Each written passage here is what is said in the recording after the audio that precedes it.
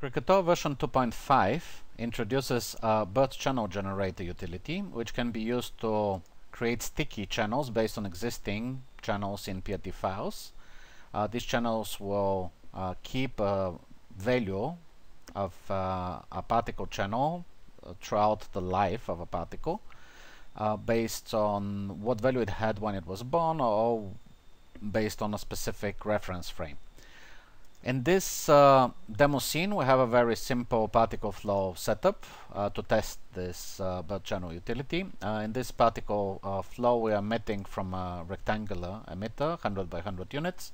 We're emitting 50,000 particles which are placed on the emitter and then they get a random horizontal speed with variation and since the variation is actually using a uh, random seed that matches exactly the random seed of the position, neighbor particles are getting approximately the same variation and this creates a very distinctive pattern. If we change this to anything else it's going to completely explode and be completely uh, random but we want to keep this one because it kind of looks beautiful. After about 10 frames, plus minus 5, uh, those particles are sent to a find target event where they navigate through uh, a shape with a UV map on top and uh, then they dock on it. So after 50 frames, all those particles have found their place on that mesh. And then we stop them and we'll save these particles to disk using Krakatoa. We'll open the Krakatoa user interface and then we'll switch it through save particles to file sequence. We'll pick a folder, we'll create a version 004 in my birth channel test uh, folder and I'll uh, use the default name particles. Uh, I don't need the normals or the color or the density but position, velocity and ID are good to have and I'm also going to add the age channel uh, because it's uh, useful to know uh, how long a particle has lived. At this point I can just switch my uh, active segment one, 0 to 50, that means 51 frames will be saved and then I uh, create a bunch of PRT files. Once the saving is done, I will disable the particle flow. We can even assume that uh, the PRT sequence was given to us by somebody and we don't even have the particle flow. So at this point I have only a PRT sequence and a PRT loader. In this PRT loader I'll load these particles. I'll switch the display to 100% and if I play back I'm going to see those particles moving around. Let's assume that we actually want to map uh, texture on these particles based on their position. I'm going to add the magma modifier. I'll open this magma modifier, set the output uh, to color, and the input will be a, a text map. So pick a new texture, and uh, I'll use this creek um, image uh, because it's uh, very green and distinctive but nothing will actually appear on the particles because we don't have any UV coordinates saved in the particles themselves.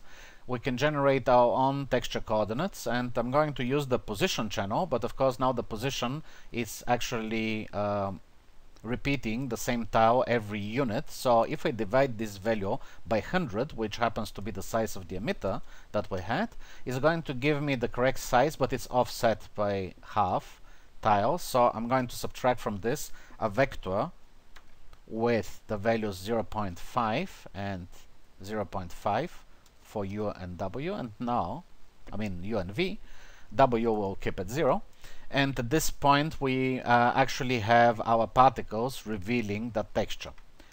But if I play back the animation we're going to see that the particles actually moving through the texture and revealing multiple tiles of this texture, especially if I look from top view, we're going to see this texture again and again in space, because we're using the world space position right now of the particles, and uh, this is not what we want. What we would like to have is the position where the particle was born should stick with the particle and be used to actually evaluate the texture map, no matter where the particle went to. This is where the birth channel generator utility can help us. I can click here and say get me the Krakatoa safe path, this is the version 4, and it automatically proposes to use the position channel as input and create a new subfolder, birth position, with the same file name in it.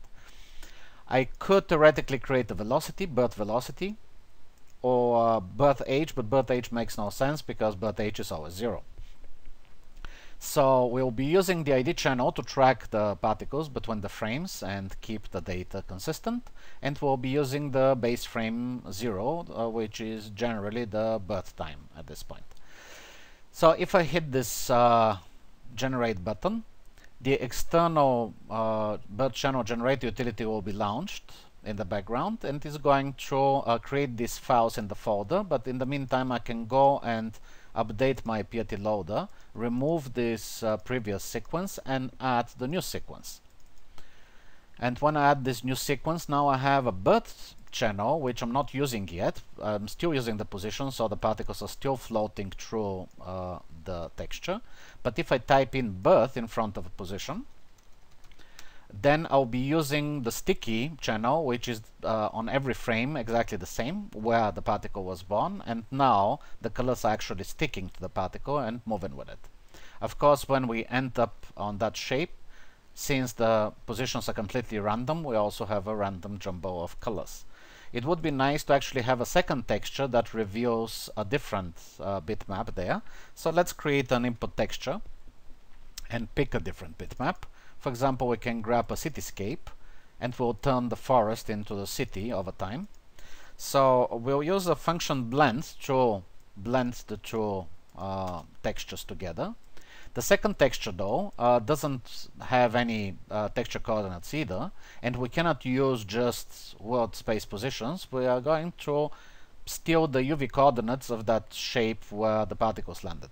So I'm going to expose the texture coords input and I will uh, actually create uh, a nearest point operator. This nearest point operator will be uh, looking for uh, geometry, in this case our uh, meshed ellipse. I'll pick it in the scene and I'll also need a lookup point and the lookup point has to be another birth position but not the birth position at birth, the birth position at uh, docking time which in our case is frame 50. So if I go to frame 50 and set the dialog to actually use the base uh, frame 50, I can go here and say I want to create a new birth position 2, but actually uh, before I do this, I'm going to copy the output uh, path that we used before into the input so we'll be doing another iteration using the previous output as the new input and then we'll add 2 here and now we have a subfolder with birth positions and another subfolder with birth position 2 in addition to the birth position. So we'll uh, do another iteration and add another channel. Now we see that it's actually writing backwards. It wrote the frame 50 first and it's propagating the information backwards in time because it needs to use the uh, base frame 50. If we had used base frame 25, it would uh, propagate in both directions in time, forward and backward. So at this point we actually have a second uh, file sequence with a second birth channel. We can go and add this additional birth position true and we'll remove the first sequence uh, which had only the one channel. That means that our lookup point here, I'm going to grab a copy of this and I'll uh, paste it behind here and connect to the input and all I have to do is instead of using birth position I'll type in birth position true. Now we are looking uh, for the nearest point on the surface of this uh, geometry and we'll need a face query in order to steal its texture coordinates. So we say texture coordinates, we add it to the list, we remove the position and we connect those texture coordinates to the cityscape input bitmap and because we're blending with a value of 0 we are only displaying the forest. And if we go and uh, switch it to 1 we're going to get our second texture there. But if we go back to the beginning we're going to see a, a jumbo of blue colors. So we need to create a blend over time starting with the forest and going into the city. How I'll do this? We could of course use the age and we know that the age is uh, in uh, seconds so after 30 frames we'll have a value of 1 and we can of course clamp this value function clamp between 0 and 1 and we could also divide it by uh, the duration that we want. For example one and a half seconds is probably a good uh, measure for the time. So if we uh, start moving now, our particles will start green and then slowly turn into the cityscape colors and then dock already in that color. However, this is based on time and all the particles were born at the same time and it's almost like actually using the time slider. Instead of using the age to control the blending, let's use the uh, distance from the birth position to uh, the current position of the particle. so we're going to normalize this. We're going to uh, create a subtraction from the birth position 2 we'll subtract the birth position 1 then we're, we're going to take the vector magnitude and then we're going to divide by this value another vector which will be the position uh, the current position of the particle and uh, from this position we're going to uh, subtract the birth position and the vector magnitude.